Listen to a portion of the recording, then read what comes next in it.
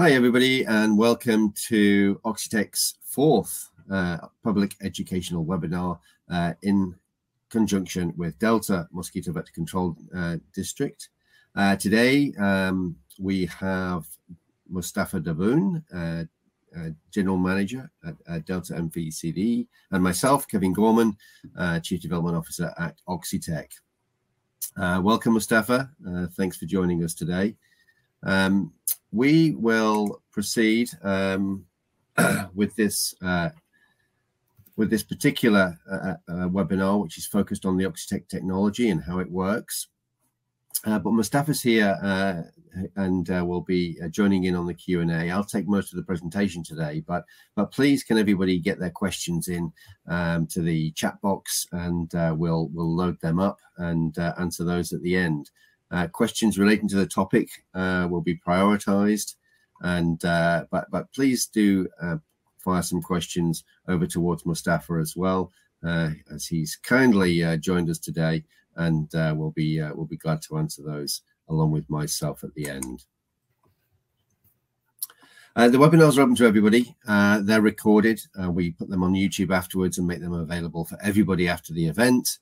Um, and as I mentioned, questions relating to the webinar topic will be prioritized, and sometimes we end up batching the questions if there's several on a particular topic.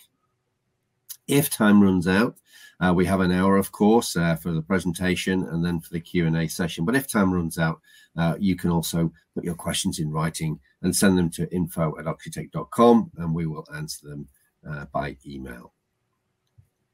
Uh, we sometimes publish the questions and answers in writing after the event and put those online uh, as ex as resources and references for external use. Uh, and so onto today's ag agenda. Um, it's, uh, as I mentioned, uh, relates to Oxitec's technology. We'll start with a little introduction about Oxitec, uh, just a couple of slides there, nothing too heavy. Uh, and then we'll talk about the technology itself, the platform technology and how that might apply to different insects and then focus down into Aedes aegypti uh, and then talk a little bit further about that Aedes aegypti mosquito turning into a product and what that needs to do to make sure that uh, we are uh, making that accessible to everybody. And then we'll uh, fire into that question and answer session at the end. Okay, so uh, we'll start with the first uh, slide of the presentation. And uh, uh it's an introduction to Oxitec, and, and we're starting here with our mission. Um, Oxitec's mission is really about um, making impact. It's really about improving uh, the the future for humans uh, by tackling some of the world's greatest challenges. This is in, in public health as well as agriculture and animal health as well. Um, but it really is about impact. It's about humans. It's about making a difference and providing something that's sustainable and uh, and, and and right for the future. Um, uh, real contemporary solutions to bi biological pest control solutions uh, to current world problems. Um, the company has been around now for around about 20 years, just over 20 years. It was 2002 uh, when it spun out of Oxford. Uh, we've grown. Uh, we're about 250, just over 250 personnel around the world now at the moment, and we have uh, significantly over 15 nationalities represented amongst that workforce. Well over 20 PhDs in the just in the R&D team, and uh, and over 10 languages spoken. We pride ourselves on our very diverse culture, and uh, and know that it's a huge asset to us. And we have R&D facilities uh, in the UK. Uh, that's our headquarters, if you like. Uh, but we have a large facility in Brazil, and we also have facilities in the US, um, uh, in California, which which is our newest one, and we're just about to open that shortly. We have lots of experience uh, in the company, uh, right the way through from the genetics and the biotech at the start of the uh, the design of that of, of those genetic uh, products right at the start of the process, if you like, all the way through the characterization of the insects, uh, the field uh, aspects, you know, so that includes ecology as well as biology, and then through product development into the product line, uh, product process, uh, and then right the way through uh, all the regulatory and compliance aspects. It's a very broad team, lots of people wearing lots of different hats, um, a huge wealth of experience right the way across all the different sectors.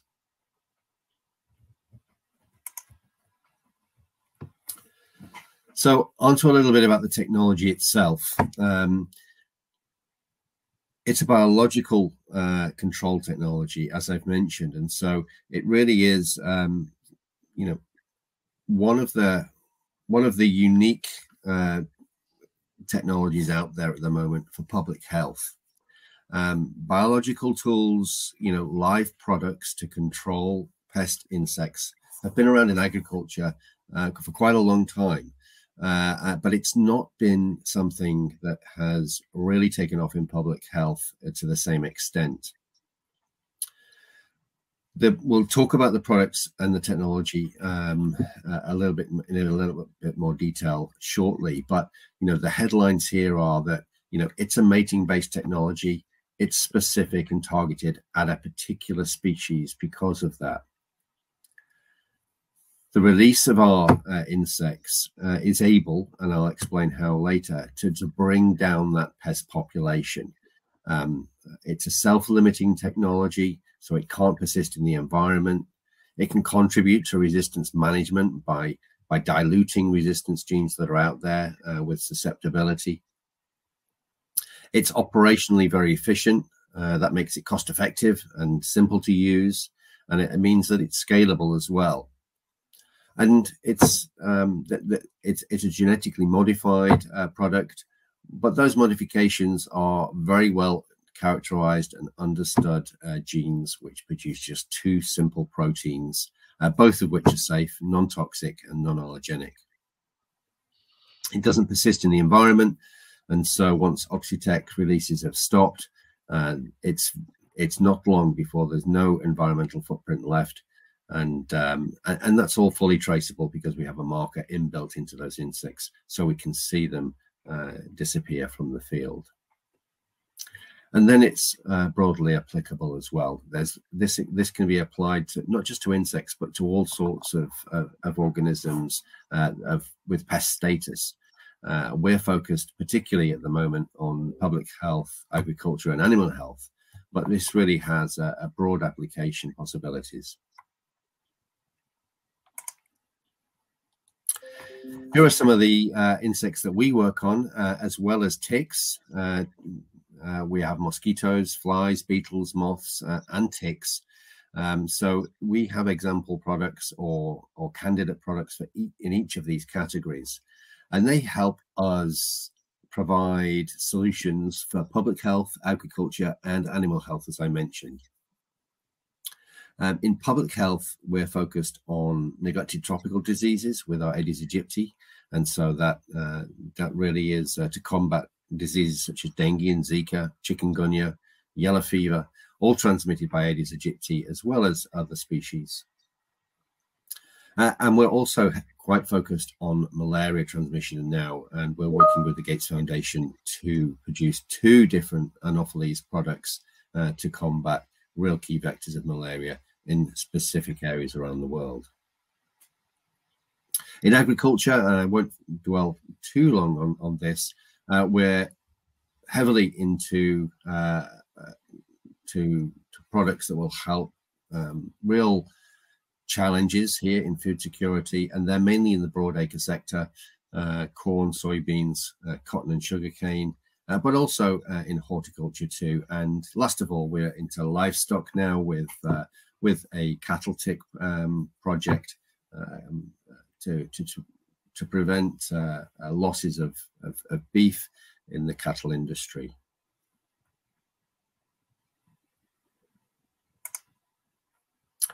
We've had, uh, as I mentioned, over 20 years of, of, of, of, progress in the company, and we've been out in the field now for over 10 years, and we've had regulatory decisions all the way around the world, um, which are uh, supporting our field work, but also our laboratory work, um, interventions, uh, technical opinions, um, right the way across our portfolio and, and pretty much on most continents now. Uh, I draw your attention uh, to Brazil. Uh, down at the bottom there, the purple circles, you can see our commercial approval for 5034. Um, this this was a great milestone and came on the back of a commercial approval for, for our previous product 513A. So both Aedes aegypti mosquitoes. We've also got commercial approval in Brazil for one of our agricultural pests, uh, pest products. And then also, of course, uh, in the USA, uh, we've done um, releases now. Uh, we're in our second year of releases in Florida with our 5034 product. And of course, we have a federal approval for use in California, and we're hoping for state approval uh, in due course, which will allow us to complete the project uh, in collaboration with Mustafa and his team at Delta.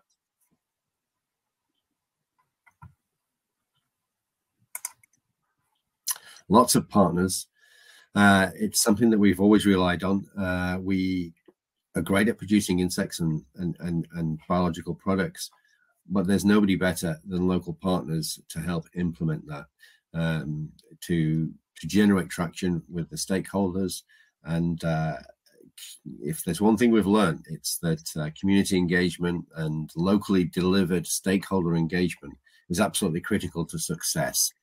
And uh, here you can see an array of partners that we have, uh, both academic uh, research partners, but also uh, development partners, as well as funding agencies.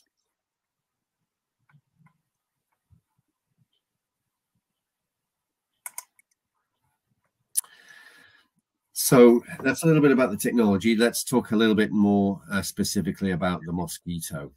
Uh, I would say that most of our products are the same. They're, they're, a similar platform put into different insects. There are some slight nuances there, um, but all of them are the same mating-based technology with two uh, particular genes inserted, which produce two proteins. Uh, those proteins uh, I'll come on to shortly.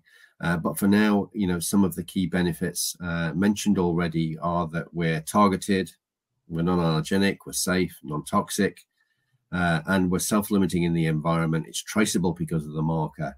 And you should always remember that we do male-only releases, you know, and the reason for that is that we target insects where males aren't causing uh, the problem. Uh, in the case of mosquitoes, it's females that bite people and females that transmit diseases. Uh, males don't bite people, uh, they don't transmit diseases, and therefore we can release as many males as we like to gain control of the population without actually uh, impacting uh, negatively on, on, on disease transmission. Uh, the, the, combination of these factors, as well as some of the operational pieces, really make this a, a, unique method of control.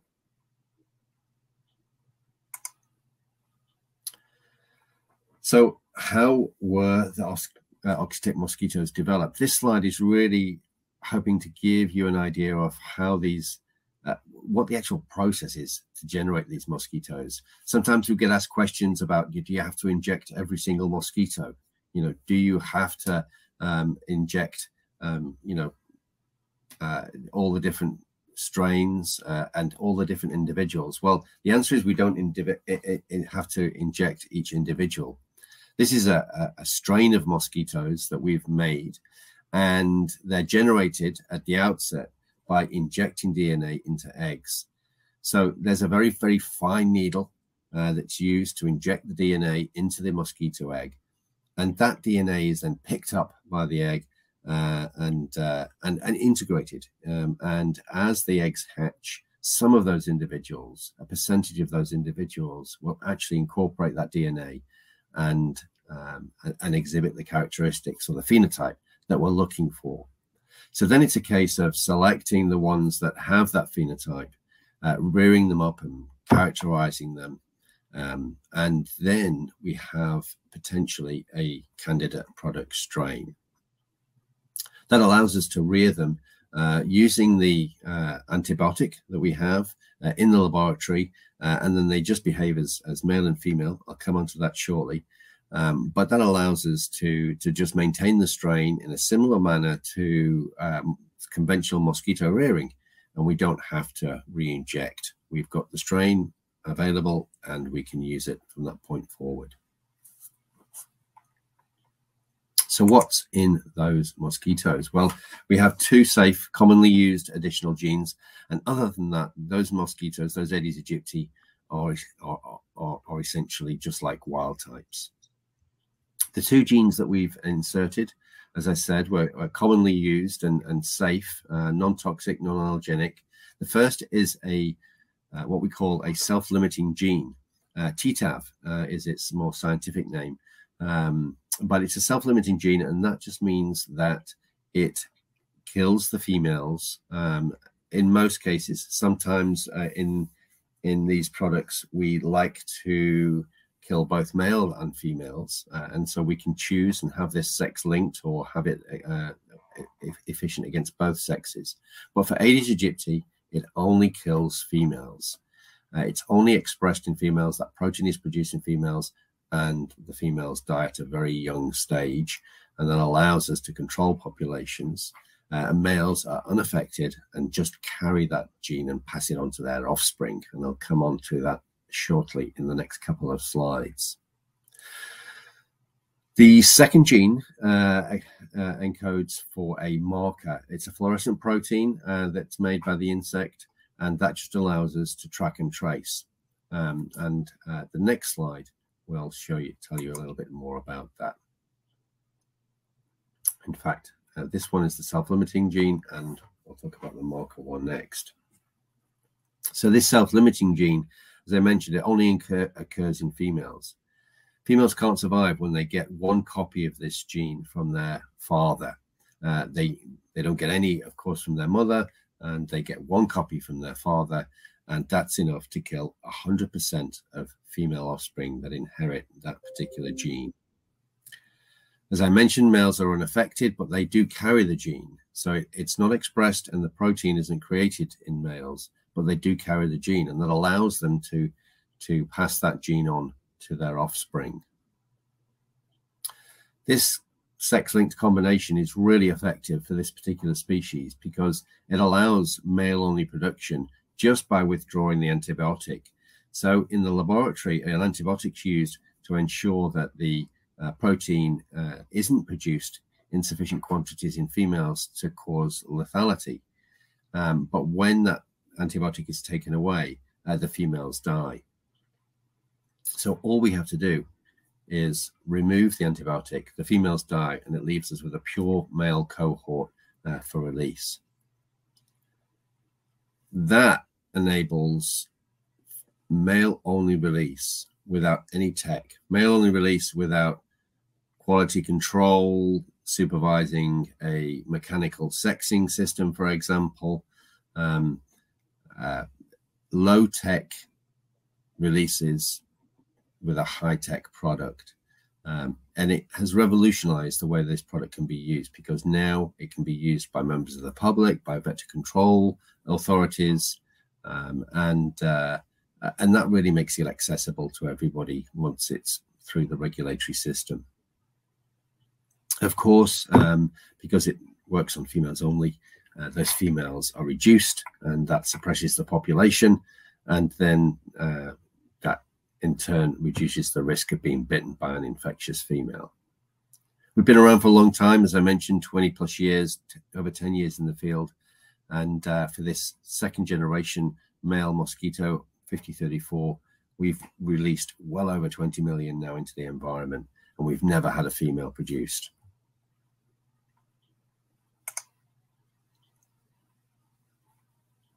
So the fluorescent marker, and uh, you can see three pictures there um, down at the bottom of the larva, the pupae, and the adult, and how this marker looks. There's a wild type on the left uh, for the larva and the uh, pupa, and you can see the fluorescent Oxitec on the right-hand side of each. Um, it, it, really is, uh, you know, a very simple process uh, to pop these under the microscope with a particular wavelength of light, light and, uh, and identify those that have been parented uh, by an Oxitec male. And uh, that doesn't matter whether it's a released insect or a multi-generational fourth, fifth, sixth generation insect in the field. They all express, if they're parented by an Oxitec male, they express this fluorescent marker and we can identify them. And that allows us to do two things really. Firstly, to track the Oxitec mosquitoes. So we can we can literally put traps out and we can catch them and see where they go and how long they live. Um, and it also allows us to demonstrate that once we've stopped releases, that they've disappeared from the environment. And from a regulatory perspective, uh, that's been a very, very useful tool as we go through the R&D and the product development process. And that last bullet there, Oxitec male mosquitoes pass the gene to the offspring. So uh, even though they uh, don't express that self-limiting phenotype that I mentioned in the last one, Oxitec males do express uh, the DS-red protein, so we can identify males and females in the same way.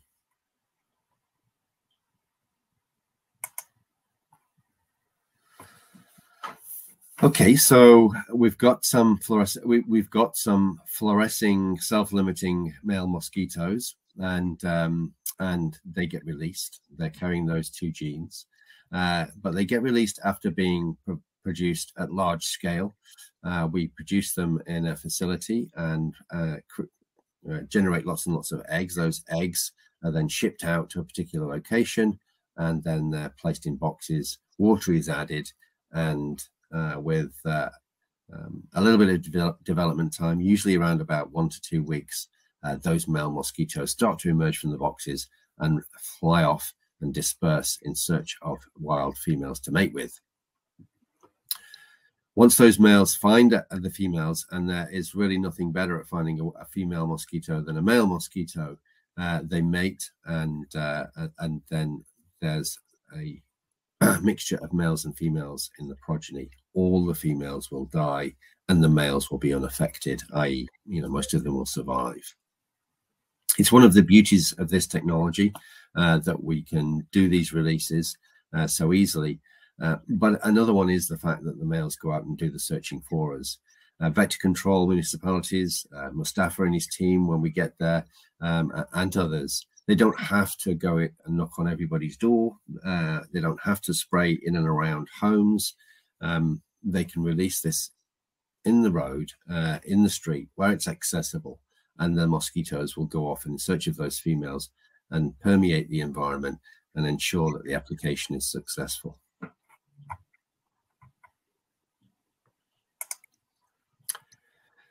This particular slide, quite a busy one, um, but is intended to show you the dilution effect.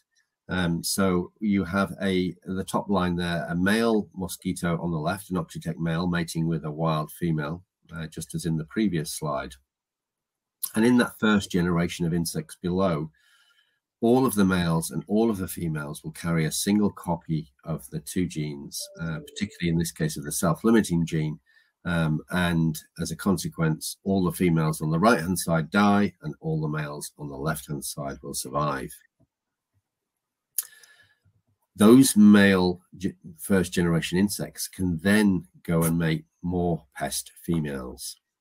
So when they mate with a, a, wild female, only half of their progeny, or male progeny, will carry the gene, and uh, and and they will go to pass to pass that on to subsequent generations, and half of their female progeny will die in the same way as they as as all of the progeny did from the first generation.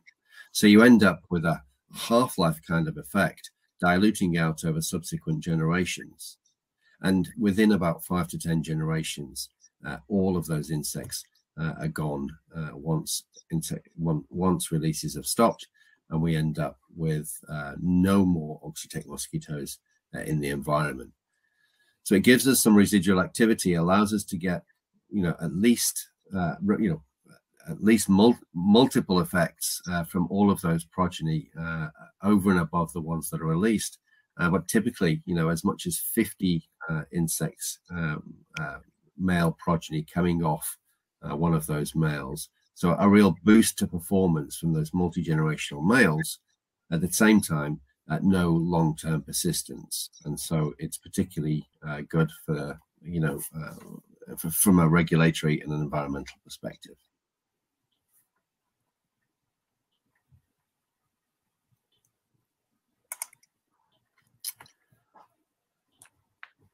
A knock-on benefit uh, from the multi-generational males is the dilution of insecticide resistance.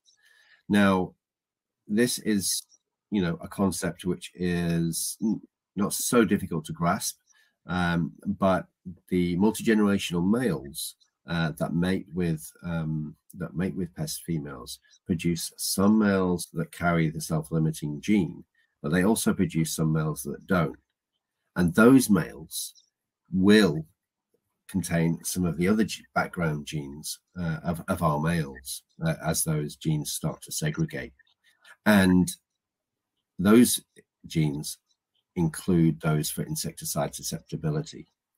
Our Aedes aegypti are selected at the uh, outset for insecticide susceptibility, and so we don't carry any um, significant insecticide resistance genes.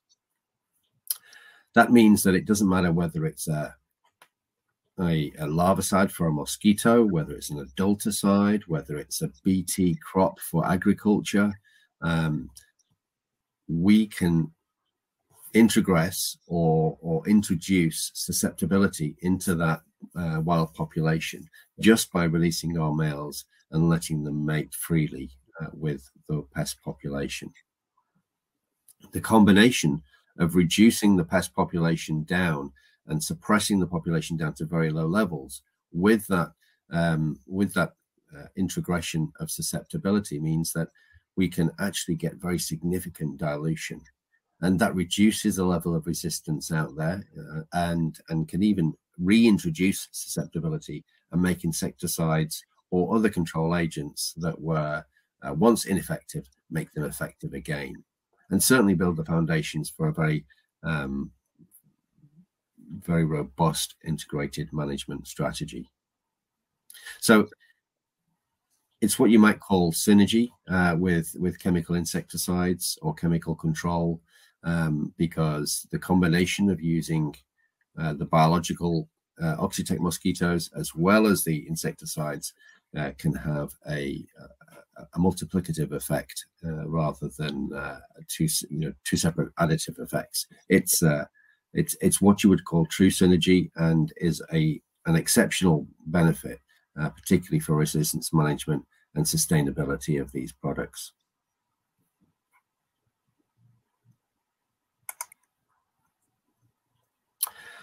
Here are some results. Uh, you can see in the blue circles on the left-hand side, our old product, 513A, and then in 2018, we switched to the new product, uh, which is 5034, or, um, um, you know, this is the one that only uh, affects female offspring. It allows us to release in boxes uh, with low-tech releases done by practically anybody. Um, so we can literally ship these out to members of the public, as we've been doing in Brazil since uh, since last year, where we went commercial. Um, and people can do these releases on their own, uh, put the boxes in their backyard, and protect their family in their homes. Our largest intervention uh, was a multi-year, um, four-year intervention in Piracicaba, uh, where we protected 65,000 people. Uh, but we've also done some pretty big projects now uh, with our new Mosquito 5034. And um, you can see there uh, our commercial launch uh, in Brazil as our most recent 21 2022 um, uh, uh, achievement. The pie charts at the top there 92, 93, 94%. Um, they were taken um, after Oxitec mosquito projects in Brazil. Uh, there, the public were polled uh, post project to see if uh, people wanted the project to continue or expand. And there was almost universal uh, support for the product and for the projects. Uh, people really felt protected uh, when the mosquitoes were flying, the male mosquitoes were flying, and they, they, they knew they were there. And then when, when they were taken away, they suddenly felt unprotected and uh, not only were we seeing this, this, this in the polls, but uh, the local vector control authorities were getting lots of phone calls saying, what are you going to do now? You know, because you've taken our males away. And uh, it was great to see that, you know, there really is a positive effect there. Uh, more uh, data here, 97%, a couple of those from Indaiatuba. Um, these are a, a, a, subsequent project where polling after the project uh, again showed very, very strong support. We use all sorts of methods uh, to deliver information to the public, um, but it's not just about informing. It's about integrating, it's about including, it's about listening. And so we spend a lot of time uh, working with Mustafa and his team at the moment uh, as, a, as a precursor to a potential project in California, uh, knocking on doors, uh, speaking to people, uh, listening to their concerns, listening to their questions, uh, providing information as well. Um, but making sure that that they, they, they feel included because at the end of the day, they are pretty much the most important component of these projects. Um, the mosquitoes themselves, of course, are important too, but without the public support, without the public um, will, uh, these projects just can't can't get off the ground and succeed. Um, it really is a, a combined effort uh, between ourselves at Oxitec, between our partner, in this case Delta uh, Mosquito and Vector Control Di District, and the public as well. It's it's uh, it's it, it really is a, a partnered effort, a, a, team effort, and uh, and the regulators also uh, get involved and uh, offer support and advice as well to help us uh, to, to help us work through those projects in a successful way.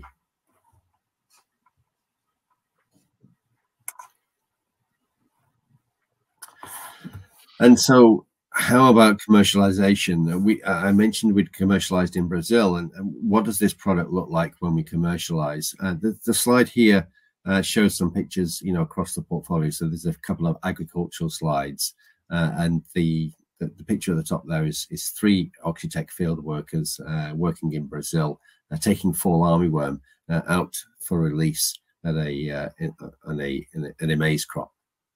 Um, Bottom left picture is a good one, is an interesting one because it shows one of our apps. What we've done with this product is add a, um, a digital app that comes with it. So you can download it.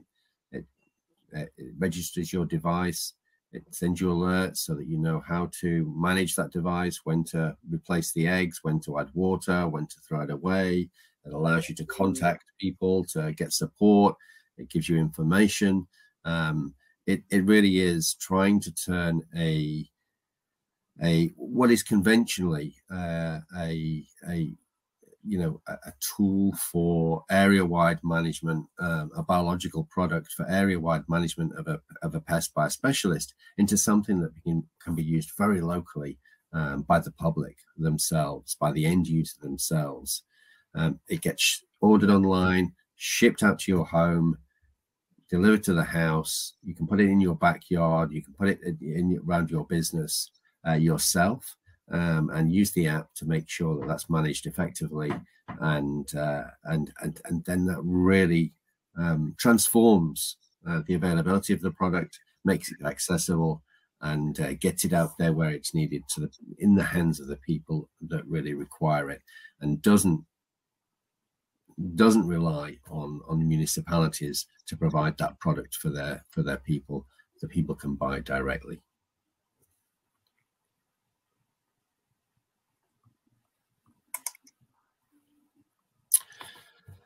So uh, we talked about some of the technology benefits earlier on and um, uh, here are some of those that really make it operationally effective. Um, that genetic sexing uh, that we talked about earlier on really, um, although it makes it very, very efficient, of course, you know, that brings down costs. Ultimately, that brings down costs and those costs savings can be passed on to the customer and make this kind of product very affordable. There's very strong quality control behind these products. Uh, and uh, that's very important because we need these products to be performing well for our customers. And if they weren't, then the customers won't be satisfied and the product would fail. So it's, it's imperative that we have a very good product that is consistently producing the right number of mosquitoes, in this case, at the right, uh, at the right speed and there's a lot of development and quality control that goes into that to ensure that that product is in tip top condition um, when it arrives with the customer. Um, production is super efficient because of the male only production. That means that we're not wasting time producing females. Uh, we're as efficient as we can be. It's flexible in terms of its production uh, because we can build uh, facilities anywhere in the world and then we can ship those eggs out. So at the moment, we we have a facility in the UK where we produce eggs and they ship to Florida, for example. But we could we could have a facility in China. We could have a facility in Brazil. Um, it's a very flexible uh, model in that sense. Uh, effective dosing, uh, we have uh, up to 200 acres uh, for some of our agricultural pests, um, but typically up to around about 50 meters of flight distance on average uh, for our mosquitoes. So that means we just need one box, potentially one box per hectare, which is a pretty good rate and makes operations very easy for the, for, for the user. We have a, a, long shelf life for Aedes aegypti, allowing those products, those eggs to be shipped around uh, the world and then for them to sit on the shelf in a warehouse uh, and used at the right time. Uh, very important when you're trying to make something accessible and deployable um, in, in the real world. It's simple to deploy, as we've mentioned.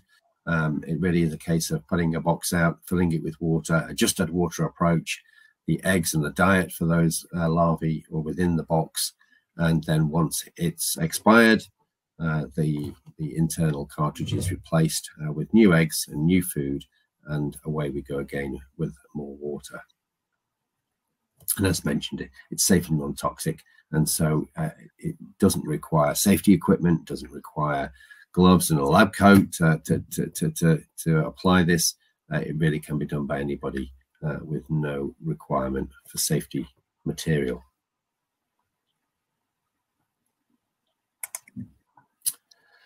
Okay, well, I hope that's given everybody a flavor of um, the product from pretty much from from R&D all the way through to commercial. And, and that was the intention here, hopefully sparking a few questions. Um, please do get your questions in to, uh, to, to the chat. Uh, these can be questions relating to the product itself, of course, or how it's used. And, and as mentioned, you know, products uh, questions relating to operations or to, to, to, to, its use in California, most welcome as well, uh, so that uh, uh, we can answer those for you. If we do run out of time, uh, don't worry, you can send us questions at info at and we'll reply by email and we'll also be publishing the webinar afterwards on YouTube as well as our websites.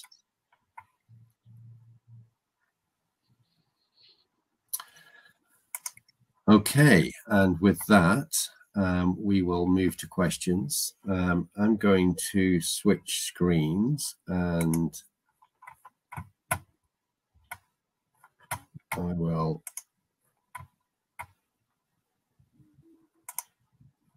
pull up a few of the questions. Okay, here we go. um, we have at the moment uh, just eight questions in, so please get some more in. Uh, we'll answer these uh, in time for sure. We've got about 20 minutes to go, uh, but please don't hesitate to put some more into the chat box uh, if you if you have any.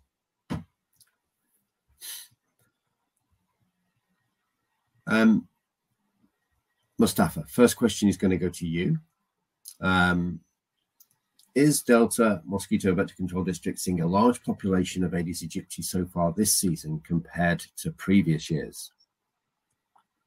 Uh, a great question. We're still we're still collecting, we're still sampling and surveying. The numbers are increasing. Uh, as far as I don't know exactly if we have surpassed last season, but the numbers are, I can see they are increasing. always from July on to at the end of uh, August, even September, we get more more numbers increasing. So as of now, I would say about the same.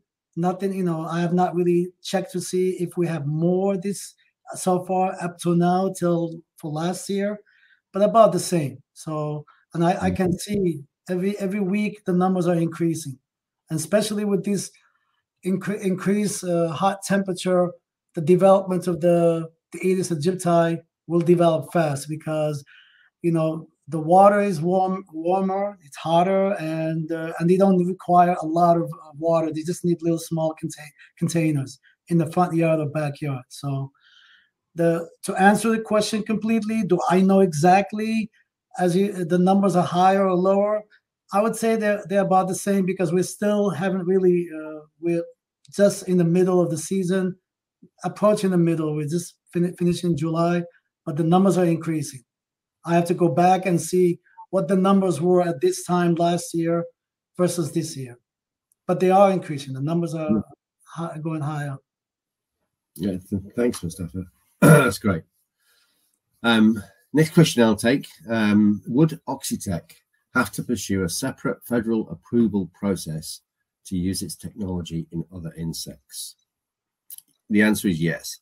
Um, so this is a mating-based technology we need a separate federal approval for an experimental use or commercial use eventually for each different product.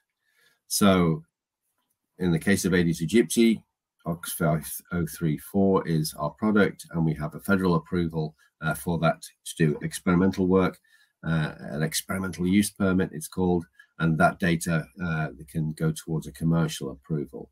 But we would have to do the same process again if we had another product, be that you know another mosquito, be that an agricultural insect, uh, or something uh, further afield.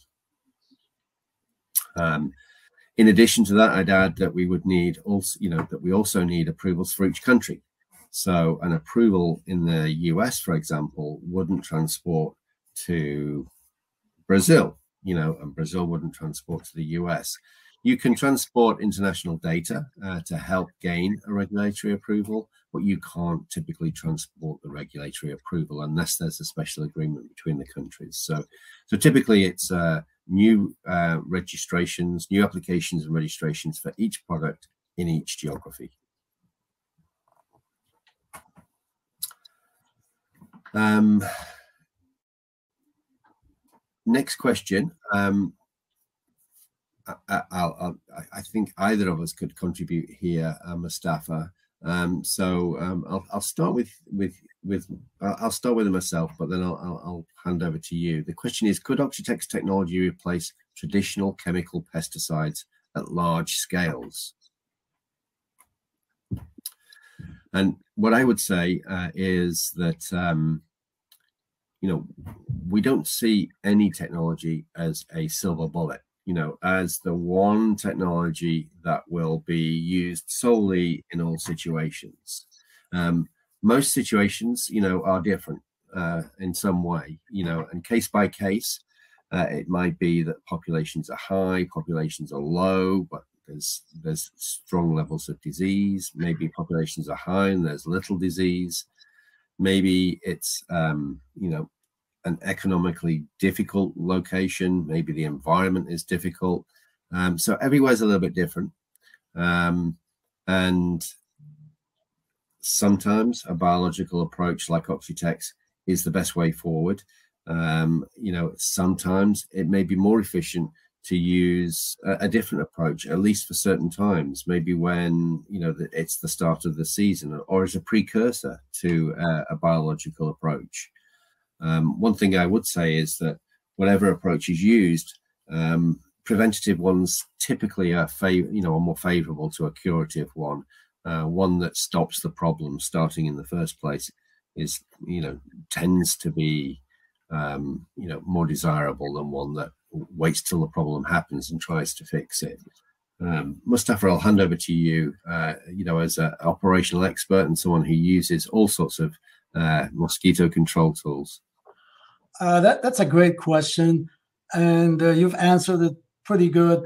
I would like to add that uh, for mosquito control and vector control, the best solution is to do everything integrated. You have to integrate every tool that you have at your disposal. In this case, yes, pesticides are, are part of the solution, but they're not all the solution. And if we can have a solution, a technique like uh, Oxitec has right now, in the future, using which is part of biological control, it's better to use a mosquito against another mosquito than you know because as you said earlier, the male mosquito will find the female mosquito better than human beings. You know, I mean, they they have to mate. They have to. That's part of their of the nature. And if you have a male mosquito that has a pesticide, think about uh, it. They, they don't have a pesticide, but they have a self-limiting gene, which they're using to you know to give it to the female mosquito, and the female mosquito will not reproduce. That's an ingenious way of reducing the number of mosquitoes. Because in, with pesticides, the problem with pesticides I don't want to say they're all bad or anything. They, of course, mosquitoes develop resistance. And when they develop resistance, that pesticide that you're using is no longer effective anymore. So you have to find go find another one. So with the biological control, with the Oxitec tool, it could become. We don't know for sure, but you know we, that's what's going to happen in the future. Hopefully, this technique will not eliminate or eradicate completely, but will reduce, will have, will give us over 90% of, of a reduction of female mosquitoes, which is better than when you kill them by pesticide and then a year later they develop resistance, and you have more mosquitoes out there. So I personally, professionally integrated mosquito management. And this is part in the integrated tool because it's an augmented tool that we can use in addition to whether it's a larvicide or a pesticide or educational outreach, and even using uh, mosquito fish and so forth. So it, it's a tool that we can use. It's innovative. To me, it's something that I definitely would like to, to use and see how it works. And hopefully in the future, we could be using it here in Visalia or anywhere in the United States. Great question. So. Thanks, Gustavo. Great answer. Um, Next question uh, I'll take. Uh, it's a, an Oxitec focused one. Um, how long will it take Oxitec to produce the number of mosquitoes needed for its proposed project in California? Well, I mentioned earlier on that we have a several months worth of shelf life uh, for these for these eggs, uh, and, but I'll talk a little bit about the process of producing them. Um, it's more like a, a, it's more like a a conveyor belt, if you like. Um, uh, so we produce the eggs back at base in the UK, uh, in this case, uh, but then those eggs need to be conditioned. It takes uh, a good number of days to condition those eggs once they've been laid till they're ready for transportation. There's quality control that happens on each of those batches of eggs. So each batch is then sampled, and samples of those eggs are hatched out and um, tested for for the for the particular characteristics that we're looking for. Um, that allows us to batch guarantee every single delivery. Um, it allows us to be fully compliant with the regulators. Um, but as I mentioned earlier, it allows us to ensure that we've got really good um, uh, quality in the product and a very consistent quality in the product. Once uh, th those tests have been done and eggs have been conditioned, uh, then we can start to ship the eggs. And so if we've got a shelf life of several months, you know, it might take us a few, a, a couple of weeks to actually get those eggs uh, laid and conditioned, batch tested and out of the door. Uh, so that leaves us with, um, you know, uh, still a good couple of months uh, for the logistics to get the eggs to a certain place and then uh, for delivery uh, and use uh, to, uh, at site. So it's more a conveyor belt, if you like, of, of, of production uh, that would supply a project like the one in California.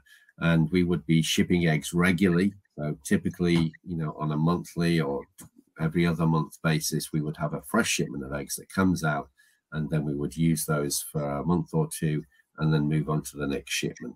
So it's it's that's the process as opposed to producing all the eggs for the project at the start we produce continually right the way through the project. Uh, next question mustafa is one for yourself. Uh, if oxitec's technology were already approved for use in the us how would you envision mosquito and vector control districts incorporating it into the broader vector control strategy? That's that's another great question, and I I always believe in innovative control methods, and this is this is an innovative one.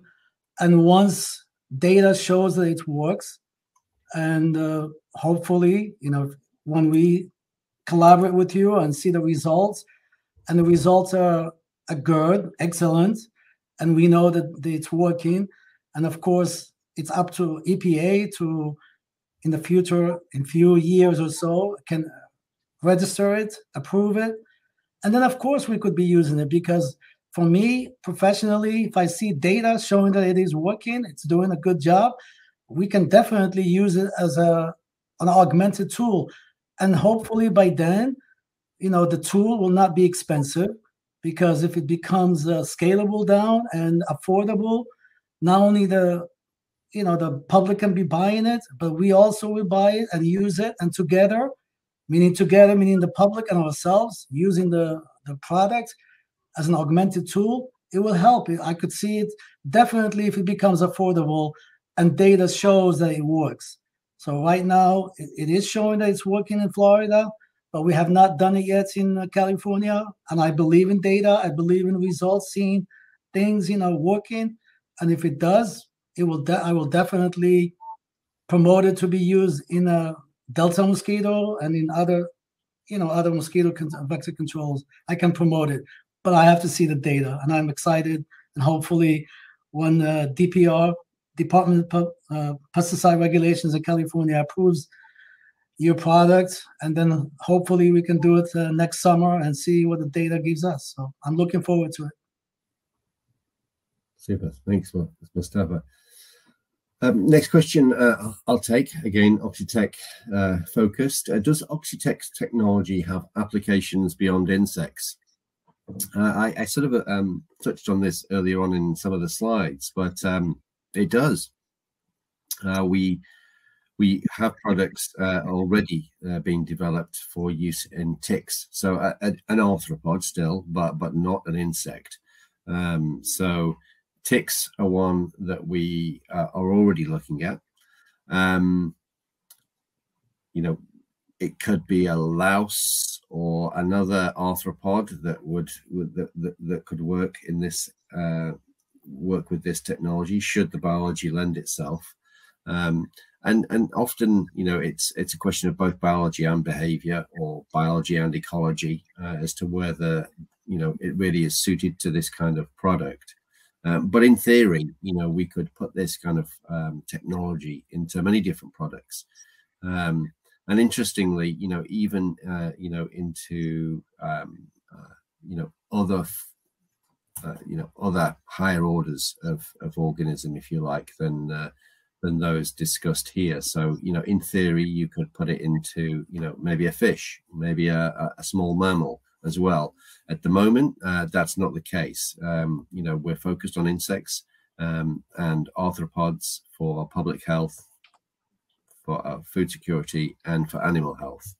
Um, but that's not to say that it couldn't happen in the future. Um, could Oxitec's technology be used for nuisance insects like other pest mosquitoes? Uh, yes, it certainly could do.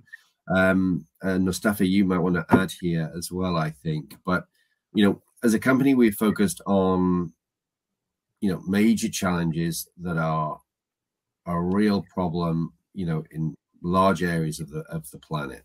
Um, grand challenges in public health uh, is, is is one way of putting it, and so you know that's public health issues that's diseases uh, at this point and, uh, and, we've talked about aedes and uh, anopheles too for, for malaria that we're also uh, looking to tackle um, nuisance mosquitoes slightly different. Uh, it would it could still work, and of course, some of those disease-carrying mosquitoes are, are, a nuisance too. Um, but some nuisance mosquitoes, you know, are are local. You know, they may be native to the environment. Um, Aedes aegypti invasive, uh, some Anopheles species invasive, uh, and so you know they present a slightly different challenge. Um, but for nuisance mosquitoes, um, it could still work in theory. Absolutely, it could. Um, but there are different implications when it comes to the environment, the food chain, etc. and uh, you know some mosquitoes are produced in huge numbers you know and uh, and, and, are really uh, you know nuisance biters through and through um, but does the biology and ecology lend itself to this kind of product it certainly could but it's a bit of a case by case i think because some mosquitoes are very different to others Kevin, you want, add, you might add something? Yeah. Yeah, uh, yeah, yeah. The, the, the, technology right now you are using for uh, you know mosquitoes that, that transmit diseases, but that doesn't mean you know the ecology and the biology of mosquitoes, even though they are varied, but they're similar in a way. A technique I could see it working even in nuisance because especially in an area, for example, where people have salt marshes and those mosquitoes are very you know they people hate them because they they might not carry a disease but they bite fiercely you know and i could see the technology working in that you know finding again a, self-limiting gene or some other genetic way of going after the the female mosquitoes and the males maybe both because uh, those nuisance mosquitoes you know they're not carrying disease but people hate the bite and some people react uh, you know differently and seriously so yes i could see. I mean the biology is there. It just needs the, the, the applications the, the techniques have to be researched a little bit more and do more experiments you know and but that but but that doesn't mean they will not work you know. Unless you do the experimentation and find out if they do or not. Right now it's still early because they haven't been done uh, against a nuisance, but I could see them working for that too. And and remember, you're already going into ticks, you know. I mean, and also soon you could go into Culicoides, or you could I could see them go, going into in mm. Central America. I mean, kissing bugs, you know. I mean, that's uh, a Chagas disease. You know, that's uh, that's something that people uh, you know fear in Central America, South America. So the sky is the limit. I mean, you guys have just hit the you know the the you just started. So if this works with you know with the disease carrying mosquitoes, I don't see why it would not work in nuisance. But it would, would require a little bit additional, and also flies. You know, think about you know like uh, not, not only house flies but uh, stable flies, horn flies.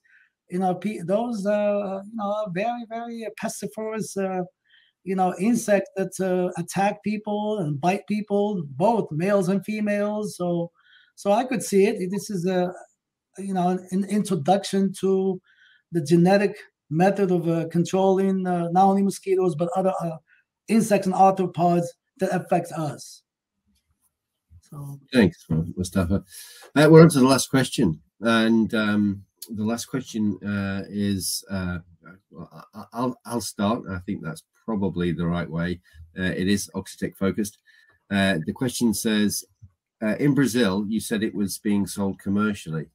If I order some online, what gets delivered to my door?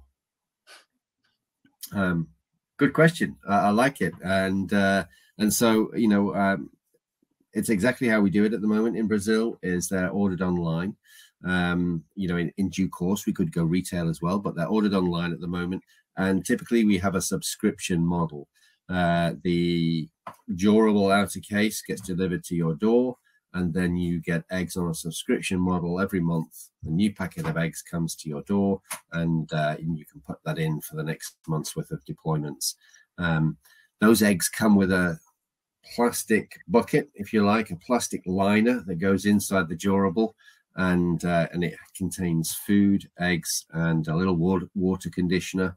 Uh, and so that package arrives on a su subscription basis uh, every month, and you just swap them out and uh, use the app to tell you exactly when to change. Uh, and uh, it's it's it's a just out of water system, and then you pull out the the, the plastic liner, pop it into the refuse, and replace it with the fresh one.